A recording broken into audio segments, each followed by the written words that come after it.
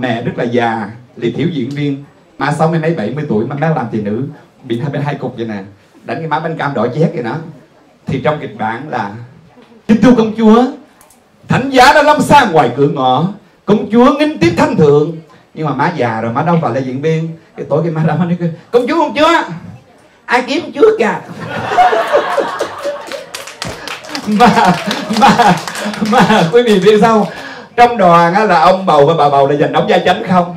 À, diễn viên trẻ đẹp không cho đóng ông bà trưởng đoàn làm đóng vai chánh mà ông bà trưởng đoàn là già lắm. Gương mặt thì cũng được đẹp mấy mà thời báo cấp quý vị biết là đánh phấn bông lúa phấn con én rồi đó. Trang điểm là không đẹp gì cả.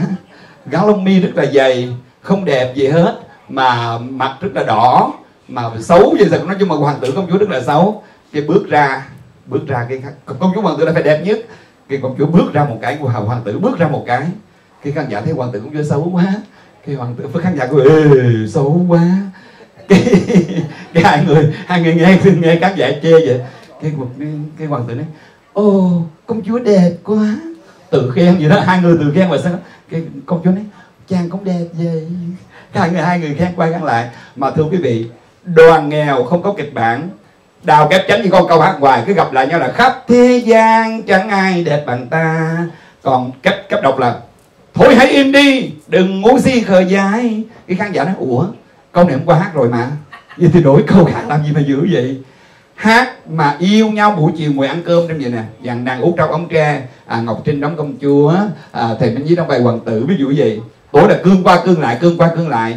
Mà cải lương là phải kết mới có hậu mới được.